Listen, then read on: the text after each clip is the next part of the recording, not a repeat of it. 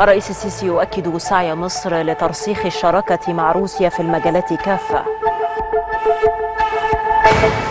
السيسي يؤكد أن التعاون مع الدول الأفريقية يحظى بأولوية متقدمة لدى مصر.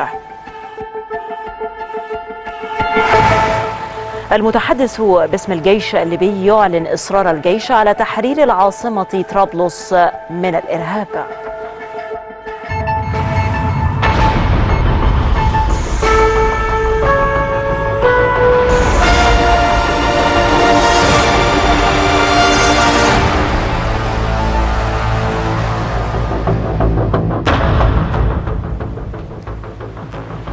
التاسعة مساء السابعة بتوقيت جرينتش نشرة إخبارية مفصلة تأتيكم من القاهرة. تحياتي لكم.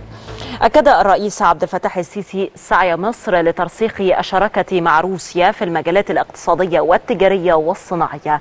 وخلال لقائه مع وزير الخارجية الروسي سيرجي لافروف أشار الرئيس إلى موضوع استئناف حركة الطيران بين المدن الروسية ومدينتي شرم الشيخ والغردقة ومعربا. عن تطلع مصر لقيام الجانب الروسي بالانتهاء من هذه المسألة قريبا.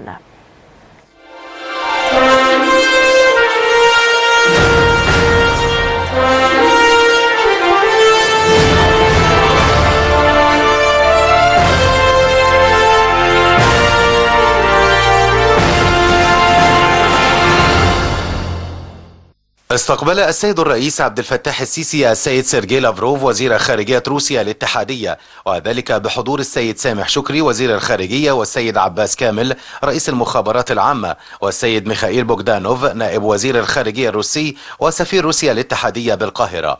المتحدث الرسمي باسم رئاسة الجمهورية السفير بسام راضي صرح بأن السيد الرئيس طلب نقل تحياته للرئيس الروسي فلاديمير بوتين معربا عن اعتزاز مصر بعلاقتها مع روسيا والحرص على تطويرها وتعزيزها في مختلف المجالات. فضلا عن أهمية تكثيف التشاور والتنسيق حول مختلف الموضوعات ذات الاهتمام المشترك خاصة في ظل التحديات الراهنة في المنطقة وجهود البلدين لاستعادة الأمن والاستقرار إلى منطقة الشرق الأوسط. وزير الخارجية الروسي في المقابل نقل تحيات الرئيس بوتين للسيد الرئيس وتثمينه لما تشهده العلاقات المصرية الروسية خلال السنوات الماضية من تعاون مثمر تحرص روسيا على تعزيزه والارتقاء به على مختلف الأصعدة. وأشار لافروف إلى اهتمام روسيا بمواصلة التشاور وتبادل الرؤى مع السيد الرئيس بشأن مختلف القضايا الدولية والإقليمية ذات الاهتمام المشترك وذلك في ضوء التعاون الوثيق القائم بين الجانبين. وفيما يتعلق بالشق الثنائي ذكر المتحدث الرسمي أن اللقاء شهد استعراضا لعدد من الموضوعات في هذا الإطار حيث أكد السيد الرئيس سعي مصر لترسيخ الشراكة مع روسيا في المجالات الاقتصادية والتجارية والصناعية وهو ما تجسد في بلورة عدد من المشروعات المهمة التي يتعاون البلدان في تنفيذها داخل مصر مثل مشروع محطة الضبعة النووية والمنطقة الصناعية الروسية في محور قناة السويس والتعاون في مجال تطوير منظومة السكك الحديدية الحديدية كما أشار السيد الرئيس إلى موضوع استئناف حركة الطيران بين المدن الروسية ومدينتي شرم الشيخ والغردقة وتطلع مصر لقيام الجانب الروسي بالانتهاء من هذه المسألة قريبا. وقد أكد وزير الخارجية الروسي التزام بلاده بتعهداتها التنموية وتنفيذ مشروعاتها في مصر وفق اتفاق الشراكة الاستراتيجية الشاملة الموقع بين البلدين في أكتوبر الماضي. كما أكد لافروف أن الجهات المعنية في روسيا بصدد الوقوف على مختلف الإجراءات اللازمة لاستئناف حركة الطيران بين المدن الروسية ومدينتي شرم الشيخ والغردقة. وعلى صعيد الشق الأمني ومكافحة الإرهاب تم خلال اللقاء مناقشة سبل تعزيز الجهود الثنائية المشتركة لمكافحة الإرهاب حيث استعرض السيد الرئيس الرؤية المصرية في هذا الشأن وخطورة مسألة قيام بعض الجهات والدول بتقديم الدعم والمساندة للجماعات والمنظمات الإرهابية. وقد أكد لافروف تأييد روسيا للجهود المصرية الجارية في مجال مكافحة الإرهاب وعزمها مواصلة التنسيق والتعاون بين البلدين في هذا المجال على مستوى الأجهزة والمؤسسات المعنية. وعلى صعيد التعاون الثلاثي في القارة الإفريقية شهدت المباحثات استعراض فرص التعاون بين البلدين في هذا السياق في ضوء رئاسة مصر الحالية للاتحاد الإفريقي ودعوة روسيا لعقد قمة إفريقية روسية في أكتوبر المقبل والتي يسبقها منتدى الأعمال الإفريقي الروسي حيث أكد السيد الرئيس على أولويات الرئاسة المصرية تجاه إفريقيا لا سيما فيما يتعلق بالشق التنموي وتطوير البنية التحتية بالقارة الإفريقية وتحقيق الاندماج الإقليمي والتكامل الاقتصادي من خلال تنفيذ أهداف أجندة 2063 كما تم تناول آخر المستجدات على صعيد القضايا الإقليمية خاصة تطورات القضية الفلسطينية وعمليات السلام. وقد أكد السيد الرئيس في هذا الإطار الموقف المصري الثابت بحل الدولتين وفقا للمرجعيات الدولية الذي يعد الحل الأمثل لإحلال السلام والتهدئة في منطقة الشرق الأوسط. باعتبار القضية الفلسطينية هي القضية المركزية في المنطقة بل والعالم. مستعرضا في هذا الصدد جهود مصر لإتمام عملية المصالحة الفلسطينية وتهدئة الأوضاع في غزة. وفيما يخص الأوضاع في ليبيا أكد السيد الرئيس ضرورة التحرك العاجل وتكاتف جهود المجتمع الدولي لوقف تدهور الوضع وتدارك خطورته لا سيما أن عامل الوقت يعد حاسما للغاية ولتقويض انتشار التنظيمات المتطرفة. مشيرا في هذا الصدد إلى دعم مصر لإعادة بناء المؤسسات الوطنية الليبية وجهود توحيد المؤسسة العسكرية. كما أعرب السيد الرئيس عن مواصلة العمل والتنسيق مع روسيا للوصول لتسوية سياسية للأوضاع في سوريا. وكذلك احتواء خطر العناصر الإرهابية هناك فيما يعرف بالمقاتلين الأجانب والحيلولة دون انتقالهم إلى مناطق إقليمية أخرى.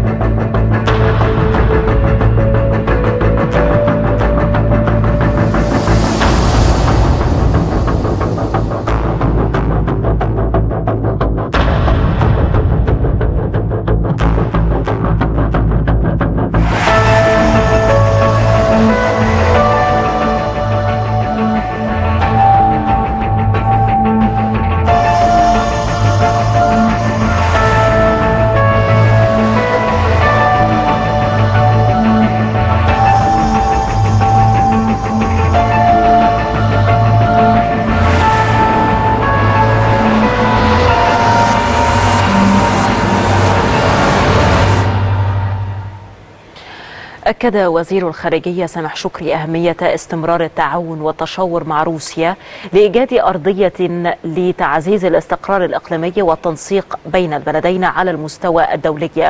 جاء ذلك خلال المؤتمر الصحفي المشترك والذي عقده شكري مع نظيره الروسي سيرجي لافروف في ختام مباحثاتهما بالقاهرة حيث أكد عمق علاقات التعاون بين القاهرة وموسكو في العديد من المجالات وكذلك التنسيق المشترك تجاه العديد من القضايا محل الاهتمام المشترك.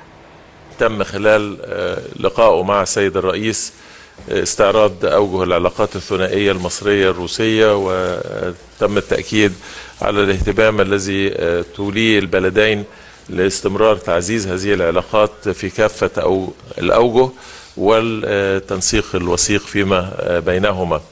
عقدنا بالمثل جلسة مباحثات موسعة. ضمت وفدي البلدين تم فيها أيضا استعراض تفاصيل أوجه العلاقات الثنائية وهي متشعبة ولها أوجه عديدة تخدم مصالح الشعبين وتعزز من النمو الاقتصادي في مصر. ونتطلع إلى تنفيذ كافة الاتفاقيات الهامة التي تم إبرامها في هذا الصدد. وأيضا وذلك يأتي على أرضية الاتفاق التعاون الاستراتيجي الشامل الذي تم توقيعه خلال زيارة السيد الرئيس في أكتوبر الماضي لموسكو. وأضاف شكري أن التعاون الروسي والمصري يتم من خلال مشاريع ضخمة ومشيرا. لأنه يتم التعاون بشأن التنمية الاقتصادية في مصر وأعرب شكري عن تطلع مصر إلى زيادة عدد السياح الروس الوافدين إلى البلاد. مصر حريصة بالتأكيد على استمرار التواجد للمواطنين الروس للاستمتاع بالمقاصد السياحية المصرية.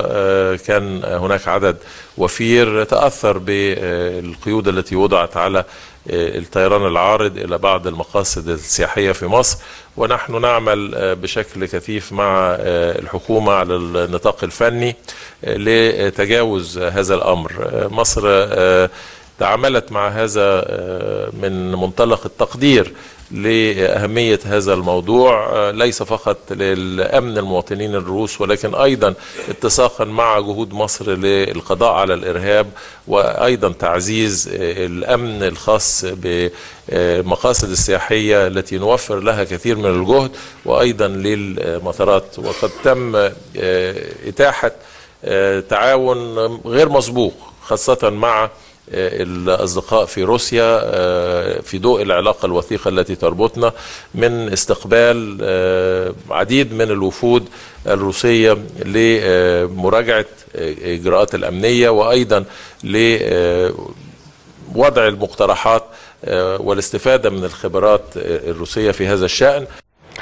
أكد شكري أن مصر تدعم الحلول السياسية في ليبيا وتنحية الحلول العسكرية ومشددا على أهمية التوصل إلى اتفاق ليبي ليبي.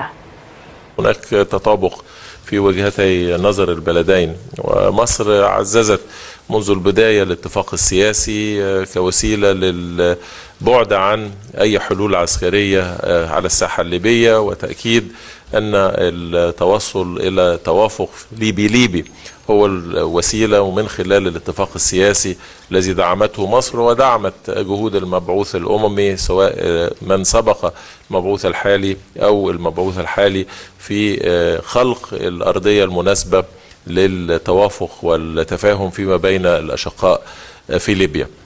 ولكن الأمور لابد أن تؤخذ في مجملها. الوضع في ليبيا على مدى السنوات الماضية وضع مقلق فيما يتعلق بعدم الاستقرار فيما يتعلق بنفاذ الإرهاب إلى ليبيا بشكل واسع خاصة في الجنوب.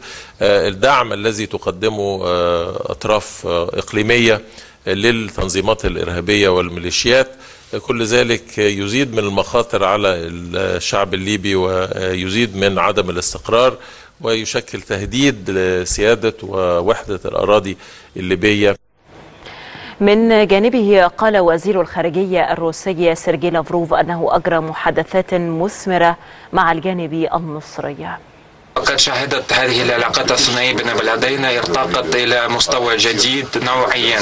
واليوم تحدثنا عن التطورات الإيجابية في مجال التجاري في العلاقات التجارية بين البلدين وقد شهد تبادل التجاري بين البلدين في سنة الماضية ويرتقي لمستوى أكثر من 70 مليار دولار وهنالك مجالات جديدة استثمارات والصناعة وأنا أقصد هون إنشاء منطقة صناعية روسية في مصر وبناء محطة نووية في مصر.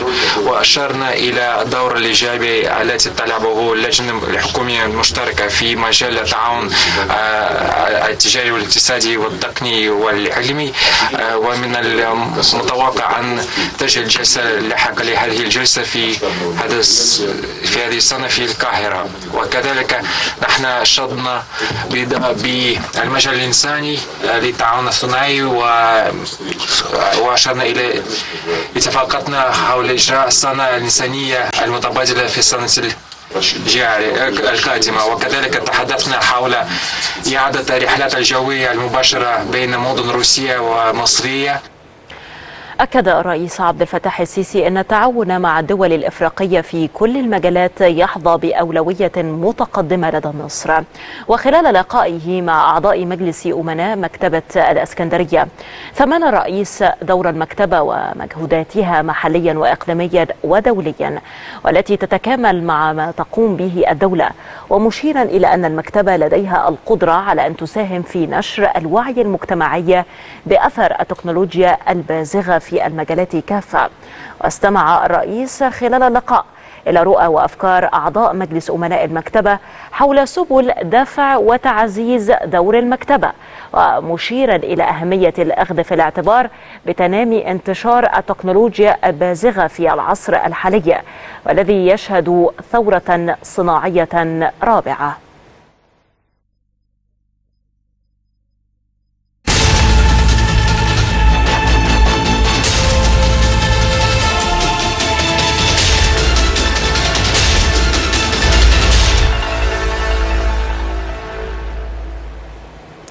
يبدأ الرئيس عبد الفتاح السيسي الأسبوع الجاري زيارة إلى العاصمة الأمريكية واشنطن تلبية لدعوة من نظيره الأمريكي دونالد ترامب. وكذا السفير بسام راضي المتحدث الرسمي باسم رئاسة الجمهورية أن الزيارة تأتي في إطار سلسلة اللقاءات التي تجمع بين الرئيسين بهدف تعزيز علاقات الشراكة بين القاهرة وواشنطن بما يحقق المصالح الاستراتيجية للبلدين فضلا عن مواصلة المشاورات الثنائية حول القضايا الإقليمية وتطوراتها.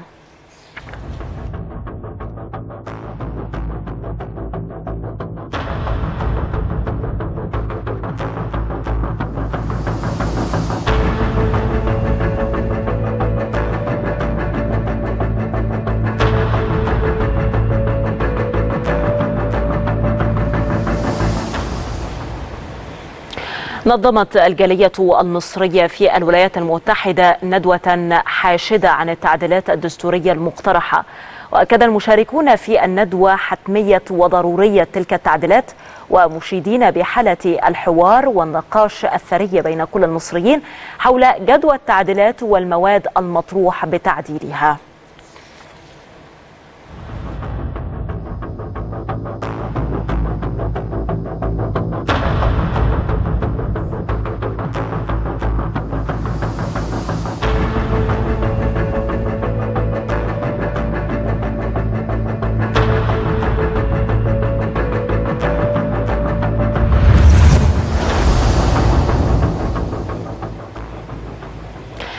في شأن آخر أعلن رئيس مجلس إدارة الشركة المتحدة للخدمات الإعلامية الأستاذ تامر مرسي بدأ الخطوات التنفيذية لهيكلة القنوات الفضائية التابعة لشركات إعلام المصريين ودي ميديا وأصدر الأستاذ تامر مرسي قرارا بتشكيل لجنة تنفيذية عامة تتولى مهمة وضع الاستراتيجيات والأهداف وإدارة الهيكلة المطلوبة في شركات المجموعة الخاصة بالقنوات الفضائية والتي تشكلت من الأستاذ تامر مرسي رئيسا وبعضوية المهندس حسام صالح والأستاذ سمير يوسف والأستاذ حازم شفيق والأستاذ هشام سليمان. وأعلن الأستاذ تامر مرسي تكليف الأستاذ حازم شفيق برئاسة القنوات العامة لشبكتي أون والحياة. واستمرار الأستاذ سمير يوسف رئيسا لقنوات سي بي سي واستمرار الأستاذ هشام سليمان رئيسا لقناة دي أم سي العامة. كما اتفقت اللجنة التنفيذية على تكليف الأستاذ ألبرت شفيق مدير لقناة أكسترا نيوز مشرفا على قنوات الأخبار بالمجموعة. والأستاذ أيمن سالم رئيسا لقناة أون سبورت والأستاذ محمد سمير مديرا لقناة سي بي سي سفرة. كما تم إسناد إدارة قنوات الدراما التابعة للمجموعة للأستاذ يسري الفخراني. وكذلك تكليف الأستاذ محمود مسلم بالإشراف على السياسة التحريرية والمحتوى السياسي في القنوات التابعة للمجموعة. وتكليف الأستاذ خالد مرسي منسقا عاما لقنوات أون والحياة. كان الأستاذ تامر مرسي أعلن في وقت سابق تعيين شركة وورد ميديا وكيلا إعلانيا حصريا لشبكات أون والحياة وسي بي سي ودي ام سي ومشيرا إلى أن كافة القنوات الفضائية التابعة للمجموعة تعمل على قدم وساق من أجل استقبال شهر رمضان المعظم وذلك من خلال تقديم أعمال هادفة تناسب الأسرة المصرية بمختلف فئاتها. وسيتم الإعلان على المحتوى الرمضاني في وقت قريب بعد استقرار تنسيق الخرائط المختلفة للقنوات.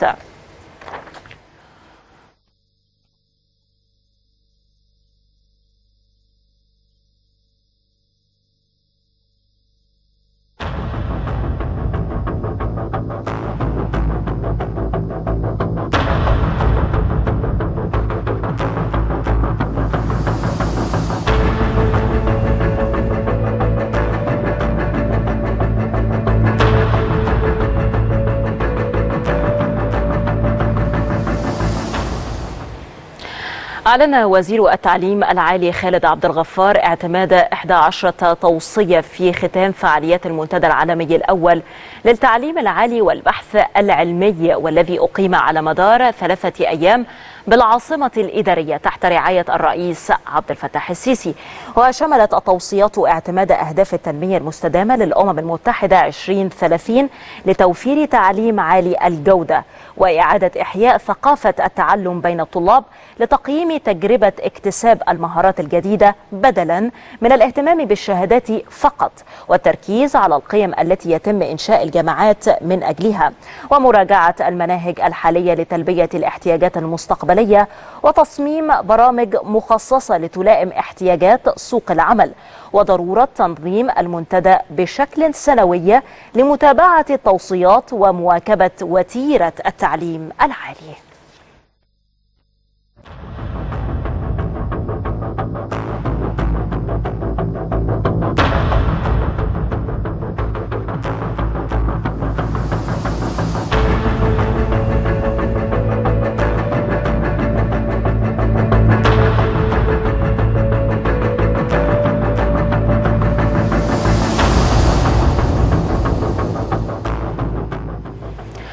أكد وزير التربية والتعليم طارق شوقي أن الهدف من تطوير التعليم هو الطالب وخلال مؤتمر صحفي له. قال شوقي التطوير المستهدف من المرحلة الثانوية ليس التابلت وإنما تغيير نوعية أسئلة الامتحانات وطرق التقييم. وأضاف أن الوزارة تعاقدت مع شركة مصرية للتأمين على التابلت ضد التلف ونجحت في إيصال الأجهزة للمستهدفين في مختلف المناطق. الوزارة استجابة لمخاوف ولادنا أو أهاليهم. قلنا تعاقدنا مع شركة مصرية للتأمين تأمين ضد الكسر والسرقة والضياع لأجهزة التابلت بسعر يعني قليل جدا بعد مفاوضات صعبة جدا. عشان مش بس يعني جبنا التابلت وخلاص لا جبناها وعملنا لها configuration و security وكل حاجة. وبنتابعها شايفين كل ال tablets دي من من حتة مركزية. نقدر نشوف مين اللي بيعمل لها hacking ومين اللي مطفي ومين اللي مشغل وحاجات كده. مش مش تجسس يعني بس تبقى عارف زي ما شركة تليفونات شايفة التليفونات يعني حاجة عادية. الوزارة نجحت في توزيع الأجهزة ودي عملية برضو لوجستية مش سهلة عشان الأجهزة دي تروح لصاحبها للمستهدف. اجهزه غالية فما ينفعش يحصل فيها مشاكل. الحمد لله مشيت كويس جدا لطلاب المدارس الحكومية والخدمات اللي يظلوا يسألوا أو في بعض المديريات مش عارفة ندي الخدمات لا الخدمات ليهم تابلت زي الحكومة بالظبط. وادينا للمدارس الخاصة وطلبه المدارس الخاصة والمعلمين. قالت وزيرة الصحة هلا زايد إن التعاون مع القطاع الخاص بعيد تماما عن الخصخصة لأنه يقوم على تبادل ونقل الخبرات والتدريب وخلال تفقدها برفقة محافظي بورسعيد اللواء عادل الغضبان مستشفى بور فؤاد العام للوقوف على أعمال التطوير الجارية بها في إطار متابعة سير العمل بمنظومة التأمين الصحي الشامل.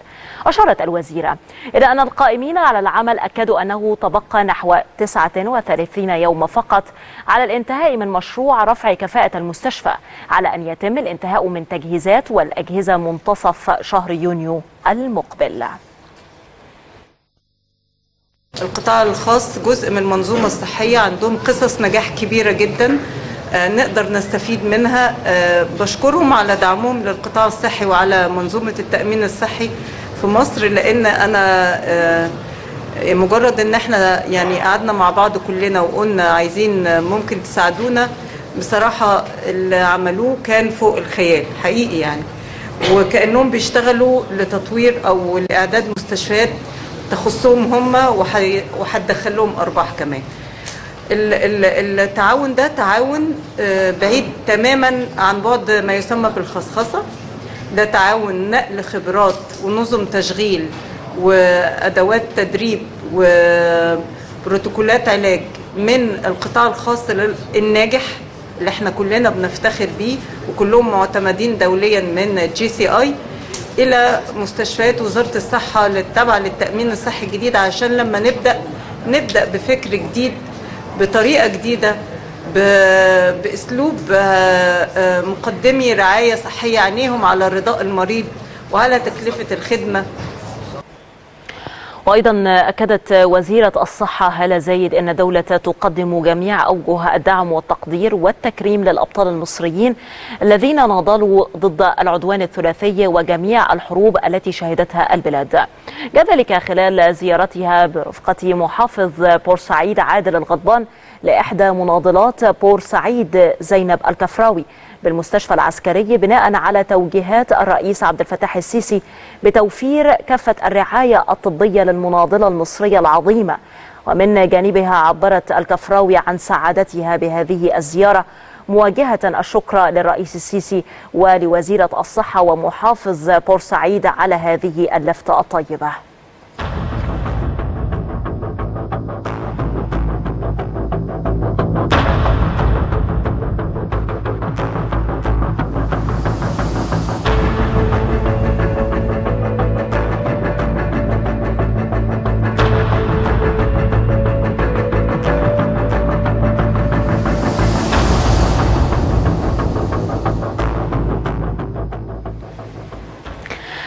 أكد وزير الزراعة عز الدين أبو ستيت زيادة مساحات زراعة الأرز في المحافظات بنسبة تصل إلى 25% هذا العام.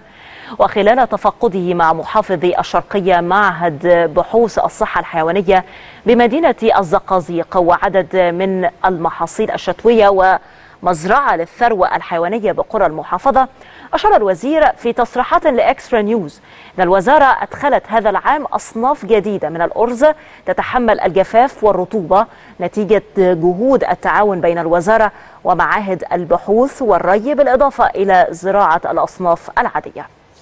زي ما إحنا شايفين الحالة مبشرة هنا في آه، الشرقية لأن الشرقية بتنتج آه، على الأقل ربع الإنتاج أو أقل شوية من ربع الإنتاج الحيواني والداجيني على مستوى الجمهورية.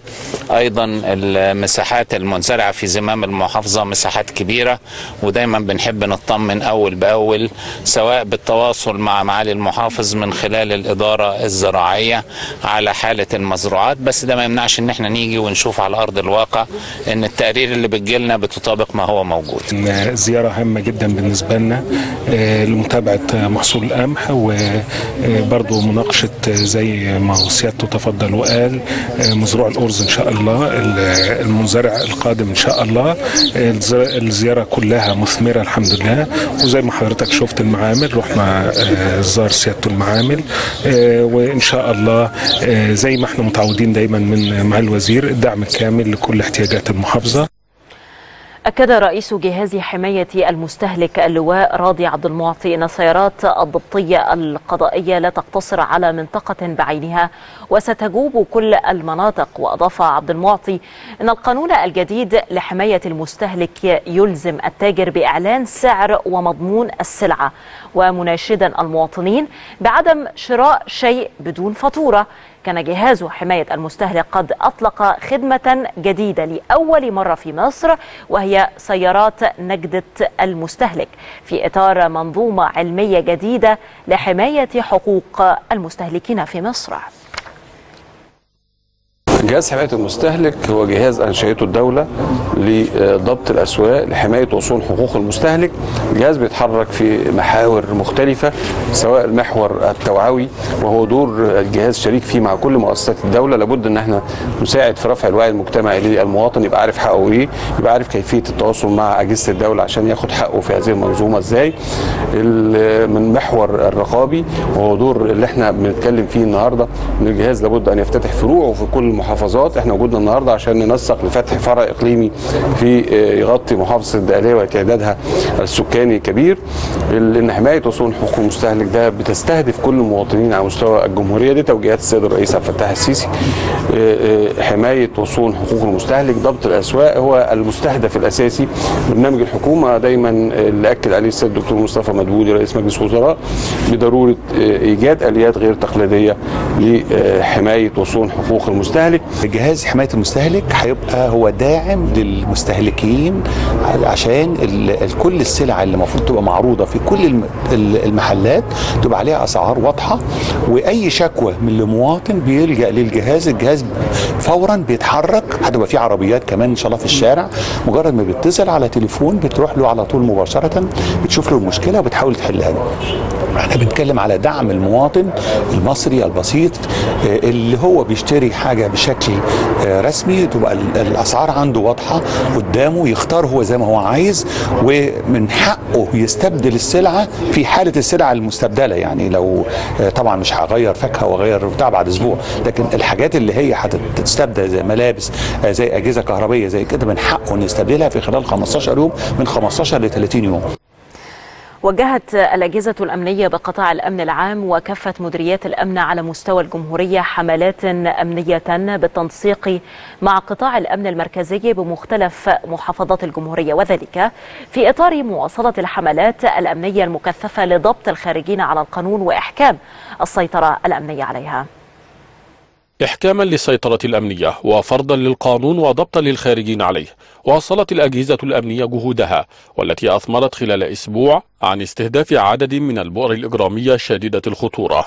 أسفرت عن ضبط 624 متهما بحوزتهم 18 قطعة سلاح ناري كما تم ضبط 25 قضية اتجار بالمواد المخدرة في هذه البؤر.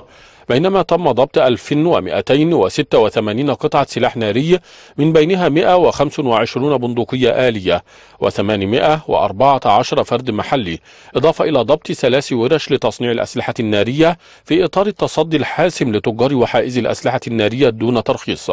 الأجهزة الأمنية نفذت نحو 500 ألف حكم قضائي من بينها أكثر من 250 ألف حكم غرامة ونحو 172 ألف حكم حبس وأكثر من 63 ألف حكم مخالفة. وخلال أسبوع تم ضبط 18 تشكيلا عصابيا ارتكبوا 77 حادث سرقات بالإكراه ومتاجر وسيارات ونشل وكشف غموض 47 حادثا منها قتل عمد وانتحال صفة بإجمالي 64 متهما.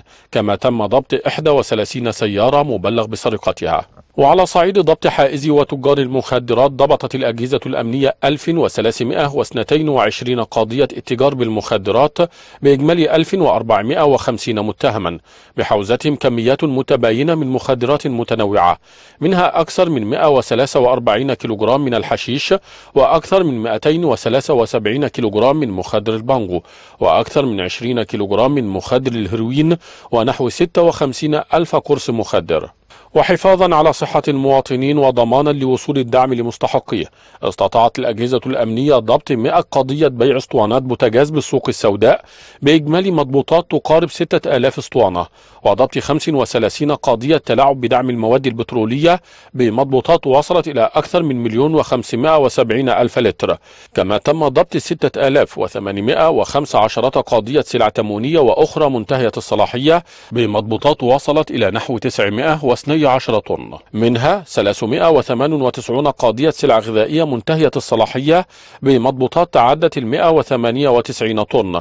وكذا 130 قضية بيع سلع تموينية بالسوق السوداء بمضبوطات تزن نحو 18 طن. وفي إطار التصدي لجرائم سرقات التيار الكهربي تم ضبط 65725 قضية سرقة تيار كهربي ومخالفة لشروط التعاقد بلغ إجمالي المبالغ المسددة منها لصالح خزانة الدولة ما يقارب 52 مليونا ونصف المليون جنيه 1403 قضايا تهرب ضريبي وجمركي نجحت الأجهزة الأمنية في ضبطها حيث وصل حجم التعاملات المالية في هذه القضايا أكثر من مليار و180 مليون جنيه في حين بلغ قيمة المبالغ المسددة لصالح خزانة الدولة من التصالح في عدد من هذه القضايا نحو مليون ونصف المليون جنيه وضبطت الأجهزة الأمنية وعلى مدى أسبوع أيضا 19 قضية تحويل واختلاس وغسل أموال وكسب غير مشروع واستغلال نفوذ مزعوم واحتيال مصرفي وسوق مال بقيمة بلغت نحو 62 مليون جنيه وأكثر من 6 ملايين عملات أجنبية متنوعة.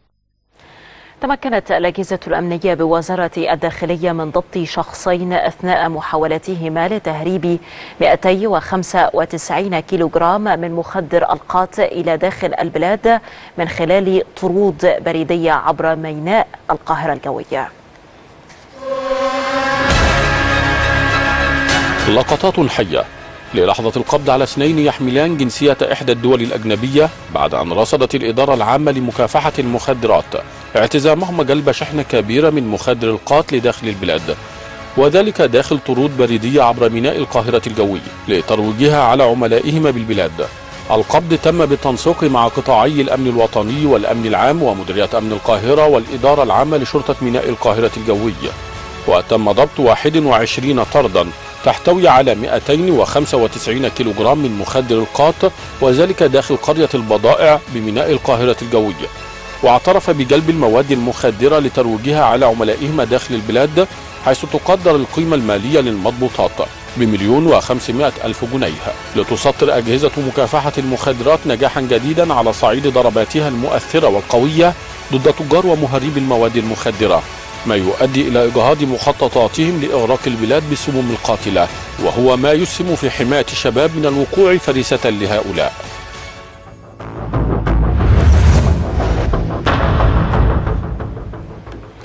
في شأن آخر أكد وزير البترول طارق الملا أن اكتشافات الغاز بمصر ومنطقة شرق المتوسط دفعت المنطقة للتعاون في هذا المجال والعمل على إنشاء منتدى غاز شرق المتوسط. وخلال كلمته في فعاليات المنتدى الاقتصادي العالمي دافوز البحر الميت والذي تستضيفه الأردن. أشار الملا إلى الدور الذي تلعبه صناعة البترول والغاز في دعم الأهداف التنموية للدول النامية ودعم اقتصادها لما يحقق أهداف شعوبها في تحقيق التنمية المستدامة.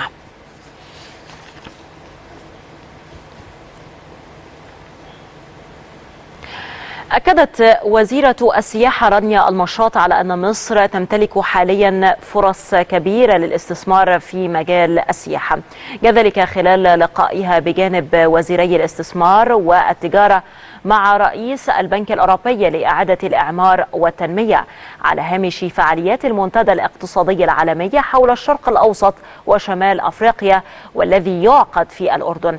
تناول اللقاء المشروعات التي يقوم البنك بتنفيذها في السوق المصري والمشروعات التي يعتزم البنك تنفيذها في مصر خلال المرحلة المقبلة.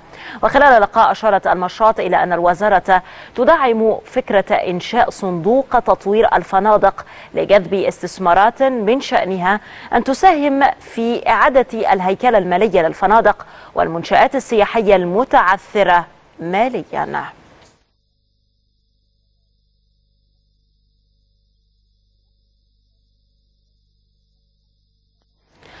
أكد رئيس الجهاز المركزي للتنظيم والإدارة صالح الشيخ أن استراتيجية التنمية المستدامة 2030 بها محور كامل حول الإصلاح الإداري. جاء ذلك خلال كلمته في المؤتمر الإفريقي الأول للحوكمة والتنمية والذي ينعقد بالتعاون بين وزارة التخطيط والآلية الإفريقية لمراجعة النظراء.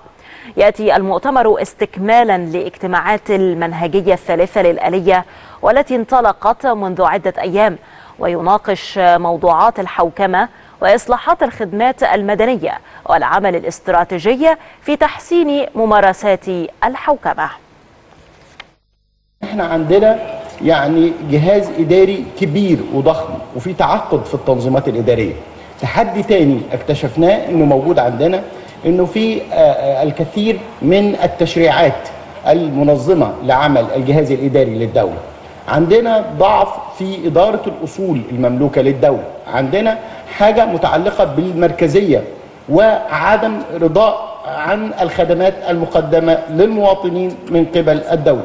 عندنا إشكالية أخرى تتعلق بضعف مستوى الحوكمة في المؤسسات العامة ولدينا أيضا تحدي آخر يتعلق بتزايد عدد الموظفين الحكوميين حيث أن الدولة كانت يوما ما تضمن الوظائف لجميع الخريجين.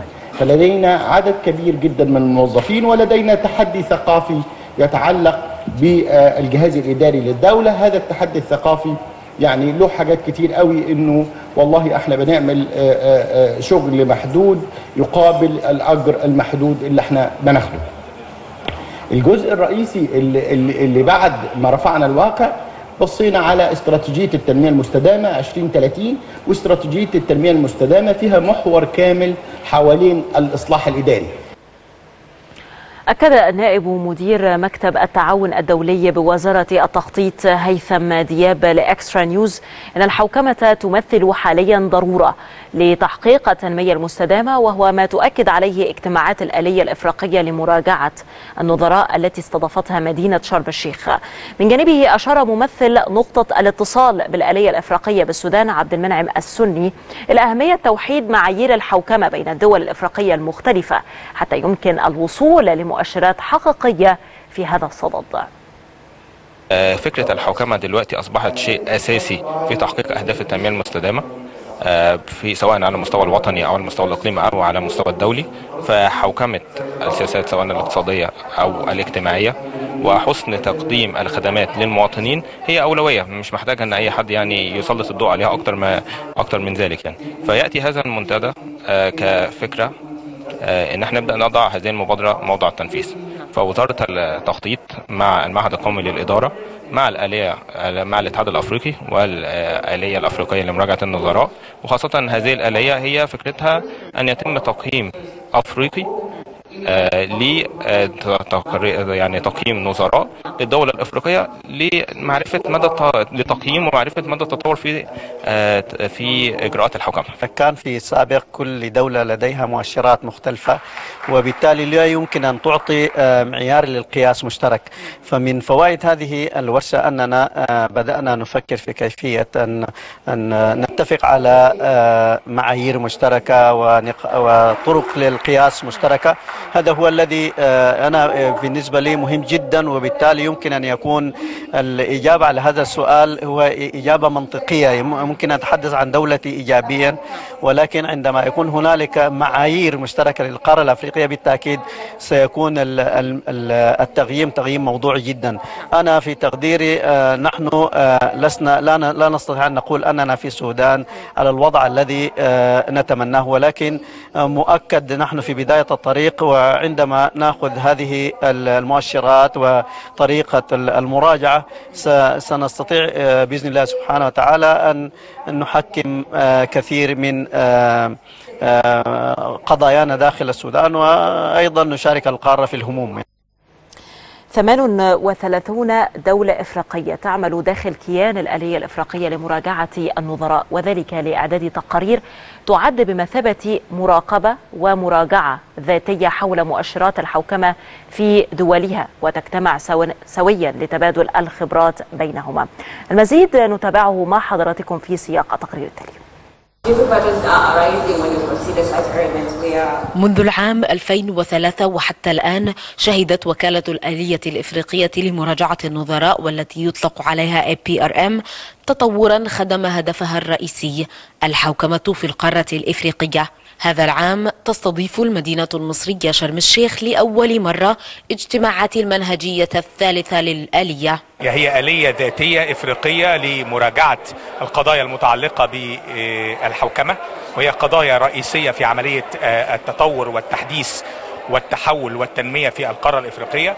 وهذه الآلية الحقيقة بتنظر إلى عملية الحوكمة عبر موضوعات متعددة منها الموضوعات السياسية الحكم الرشيد والقضايا المتعلقة بالقضايا السياسية ثم أيضا القضايا الاقتصادية القضايا الاجتماعية والقضايا المتعلقة بحوكمة الشركات. نحن في الآلية الأفريقية نقوم بعمل مراجعات دورية ونستخدم عددا من الأدوات لمراجعة الدول في طريق إداراتها ونقوم بإصدار التوصيات الخاصة بنا وفقا للتقارير المرسلة. نحن نعمل على الوصول للدول التي لم تحصل على عضوية داخل الآلية الأفريقية. 38 دولة إفريقية تعمل داخل كيان الآلية على إعداد تقارير تعد مراقبة ومراجعة ذاتية حول مؤشرات الحوكمة في دولها. وتجتمع سويا لتبادل الخبرات حول قصص النجاح والعيوب في حكومات بعضها البعض ومن ثم وضع خطط للتنمية. في هناك أسئلة موجودة على كل محور لابد أن تجيب عليها كل دولة علشان تكتب تقرير. كل الناس نقدر نبقى شايفين بعض وبنتقاس على مقياس واحد. كل الأسئلة اللي بتخلي يبقى في رؤية من خلال قراءة هذا التقرير لأي دولة تبص عليها كأنها خدت صورة فوتوغرافية للموقف الحقيقي للي الدولة فيه. آلية مراجعة النظراء مختصة بأنها إعداد تقارير دورية عن الدول. وبالتالي إحنا كأعضاء لجنة كل منا مختص بعدد معين من الدول. إحنا اللي بنقود عملية إجراء المراجعة الدورية عن الدول الأعضاء في ال APRM جلسات عديدة تضمنتها اجتماعات الآلية هذا العام. ناقشت فيها موضوعات طارئة كالمؤشرات الرئيسية لقياس الحوكمة ومتابعة تنفيذ أهداف التنمية المستدامة وأجندة الاتحاد الإفريقي 2063 عمل طويل تأخذه الآلية على عاتقها ساعية لاستدامة التنمية في القارة بانضمام باقي الدول الإفريقية إليها.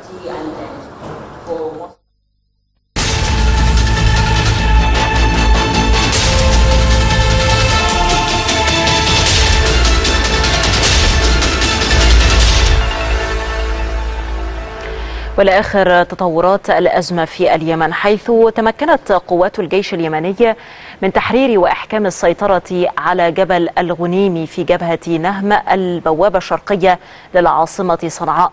وقال الجيش اليمني أن قواته نفذت عملية هجومية واسعة في جبال البياض بدعم من مقاتلات التحالف العربي. وأضاف أن العملية أسفرت عن تكبيد ميليشيا الحوثي خسائر فادحة في الأرواح والعتاد.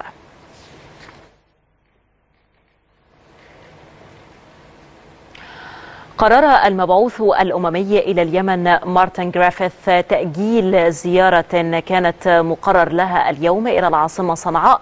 يأتي هذا فيما يسعى جرافيث لإقناع ميليشيا الحوثي بتنفيذ المرحلة الأولى من خطة إعادة الانتشار بالحديدة والتي تنص على انسحاب الحوثي من مينائي الصليف ورأس عيسى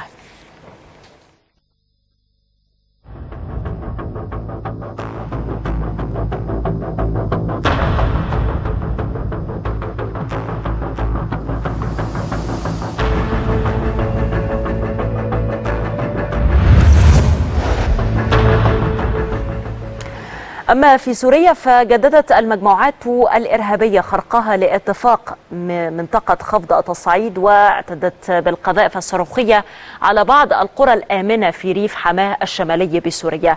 مما أسفر عن وقوع أضرار مادية في بعض المنازل والممتلكات دون وقوع إصابات بين المواطنين.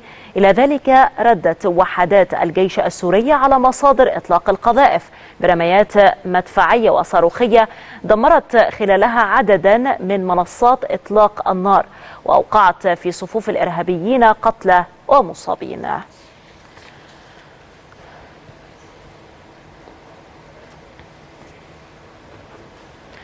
أعلنت الأجهزة الأمنية في العراق مقتل قيادي بارز في تنظيم داعش الإرهابي بمحافظة الأنبار في غرب البلاد. وقال قائد شرطة الأنبار إلى ما يسمى بالناقل العام لمعسكرات داعش الملقب بهباد أبو عائشة قتل بعد اشتباكات أو اشتباك في صحراء قرب بحيرة الرزازة جنوبي محافظة الأنبار.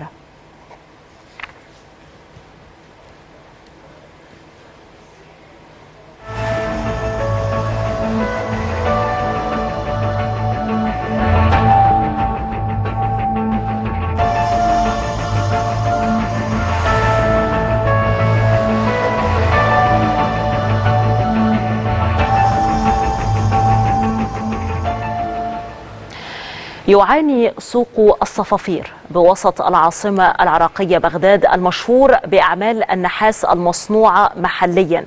من تراجع الطلب على منتجاته مما دفع العديد من الأكشاك لبيع الأقمشة المستوردة. كما دعا تراجع السياحة في العراق العديد من صناع النحاس المطروق إلى ترك متاجرهم مزيد نتابعه في سياق التقرير التالي.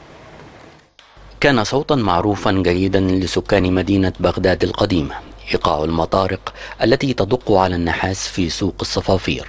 لكن صوت النحاس الذي يتعرض للطرق لصنع الأواني والأطباق أصبح أكثر ندرة الصفافير سوق بوسط بغداد يشتهر بأعمال النحاس المصنوعة محليا. لكن مع قلة عدد السياح وتراجع الطلب على المنتجات المعدنية التقليدية فإن العديد من الأكشاك تبيع الآن الأقمشة المستوردة. لا تزال هناك بعض الأماكن التي تبيع الأعمال المعدنية المصنوعة يدويا لكن يتم استبدال العديد منها بأكشاك ومتاجر أخرى تقدم سلعا رخيصة الثمن مستوردة من الصين أو الهند. كان سوق الصفافير كله أثري وكلهم خلينا نقول قدماء وحرفيين. تحول إلى قماش لأنه قلة خلينا نقول دخول الوفود كانوا يدخلون للسوق الصفافير كانوا يتسوقون من عنده فهم أصحاب كلهم أصحاب محلات قدماء طبعا.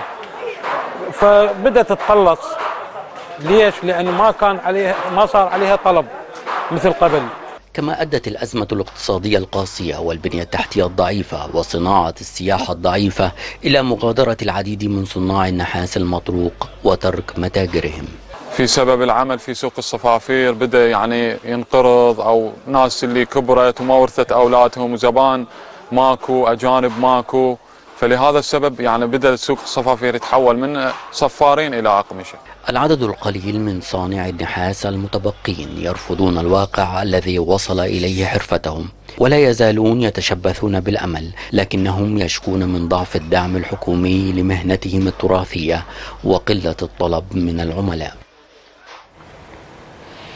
ومن المشهد العراقي إلى الليبية حيث أوضح المتحدث باسم الجيش الوطني الليبي اللواء أحمد المسماري أن قوات الجيش لديها تدابير لحماية المدنيين وعدم استخدام القوة المفرطة في معركة تحرير طرابلس من الإرهاب. وأشار إلى أن المشير حفتر طلب بعدم استخدام سلاح الجو حفاظا على حياة المدنيين كاشفا إلى أن طائرات تابعة لميليشيات مصراتة هي التي قامت بقصف أماكن مدنية.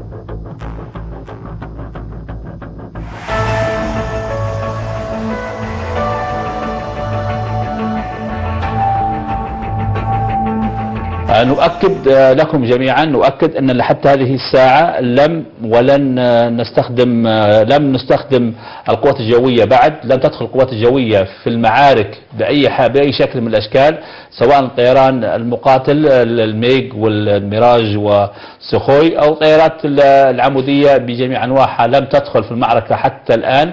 حتى الإسناد الناري لم يقدم من قبل القوات الجوية. وهذه تعليمات سيدي القائد العام آه، عدم آه، استخدام القوة المفرطة لحفاظا على ال- ال- الأهالي وحفاظا على آه، السكان المحليين حفاظا على مقدرات ال- آه، ال- مقدرات الدولة ومقدرات الناس واملاكهم في تلك المنطقة إلا أن العدو استخدم قصفات واستطلاعات وتصوير جوي آه، لمناطق تواجد القوات المسلحة.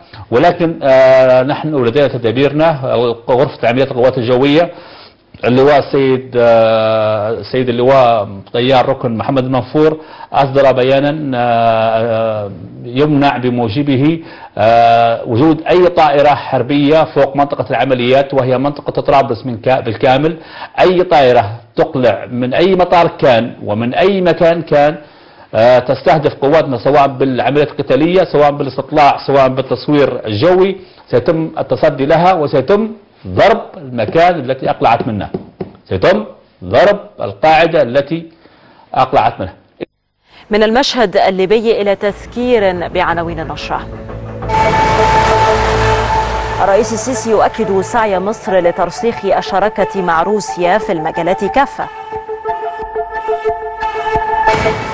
السيسي يؤكد أن التعاون مع الدول الإفريقية يحظى بأولوية متقدمة لدى مصر. المتحدث باسم الجيش الوطني الليبي يعلن إصرار الجيش على تحرير العاصمة طرابلس من الإرهاب. انتهت النشرة لمزيد من الأخبار. تابعوا دوما موقعنا الإخباري extra news دوت تي في دمتم في رعاية الله وأمن هذا اللقاء